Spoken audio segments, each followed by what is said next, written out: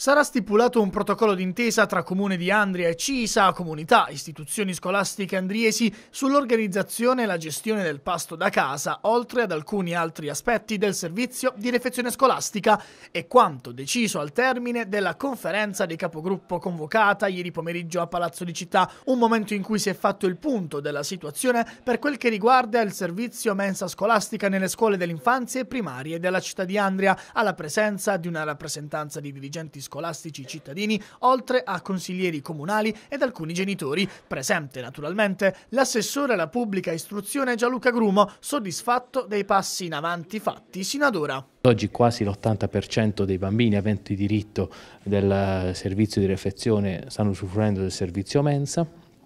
Devo dire che è chiaro rispetto a quelle difficoltà che era naturale incontrare nella fase di start-up, devo dire ormai siamo a regime, già appunto da, uh, dalla giornata di oggi e di ieri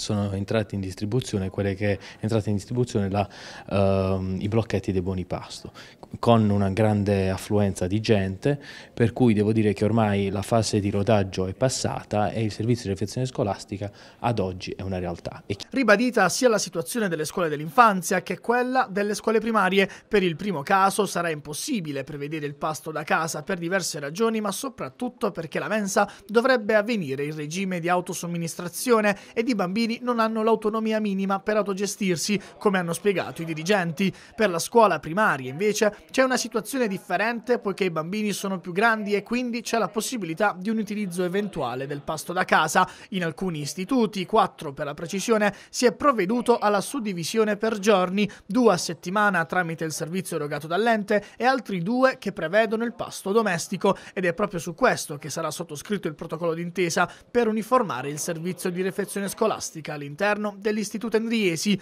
Nel complesso sempre più famiglie stanno aderendo alle linee tracciate sino ad ora, questo è emerso durante la conferenza di capigruppo. L'assessore Grumo auspica il superamento di ogni divergenza e il raggiungimento dell'intesa. Penso che l'obiettivo sia stato raggiunto, ovviamente con la difficoltà che era naturale avere, vista la, diciamo, la novità di quest'anno, il cambio di tariffe e anche il ritardo dovuto ad altri aspetti eh, tecnici eh, dell'avvio della mensa scolastica, per cui ritengo che nonostante le difficoltà incontrate si sia riuscito a centrare l'obiettivo